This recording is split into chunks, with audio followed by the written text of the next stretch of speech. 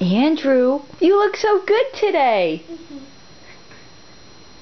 What are you supposed to say? Good.